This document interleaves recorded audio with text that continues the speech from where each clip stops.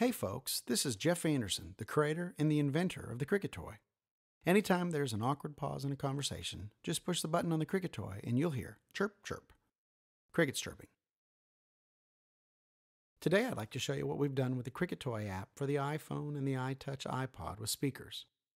Now you could use the Cricket Toy app with the iTouch without speakers, but you'd be the only one who could actually hear the chirping in your headphones. So if you're the type of person who likes to chirp awkward people without them knowing it, kind of like an inside joke, that's great. Otherwise, it's best to use it with an iPhone or an iTouch that has speakers.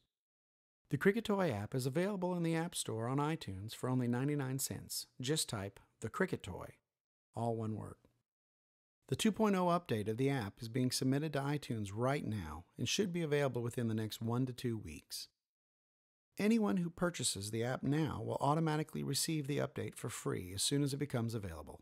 So go ahead and buy the Cricket Toy app now and start saving those awkward pauses today. Yep, that probably would have been a good moment for it right there, huh? Okay, well, let's show you how this thing works. The Cricket Toy app is super simple to use. When those awkward moments happen, you need to be able to push one button and hear the chirp. When those awkward moments happen, just click on the Cricket Toy app's icon. You'll notice that it chirps while the application is opening. Simply push one button and you'll get your chirps.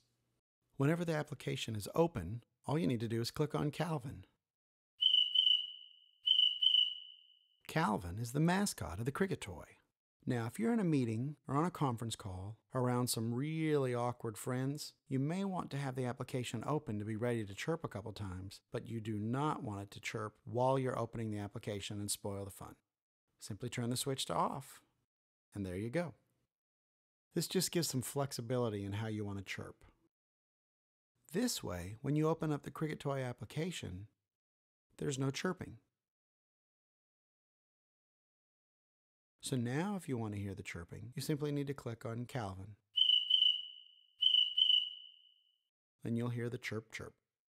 If you want the one touch chirping, simply go to the settings section, go to chirp on startup, and turn it on. Now the feature we have that the other sound effects apps don't have is you can actually choose what sort of cricket chirp you want. I call it choose your chirp. Right now, we have nine different chirps you can choose from. The Cricket Toy version is the sound that's on the actual Cricket Toy. Along with the Cricket Toy version, we also have fast chirping crickets and slow chirping crickets. Now, if you know anything about the snowy tree cricket, you'll know that you can actually tell the temperature outside by counting the number of chirps that he has per minute. It's possible I have ADD. Hey, shiny thing. There are four types of fast chirps. Fast, completely dry cricket,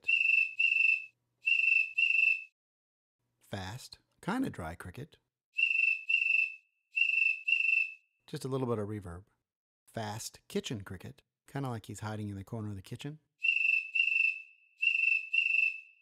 And the fast Grand Canyon cricket, like Calvin is hiding somewhere in the Grand Canyon. Now the same options are available for the slow chirps. Slow, completely dry cricket, slow, kinda dry cricket.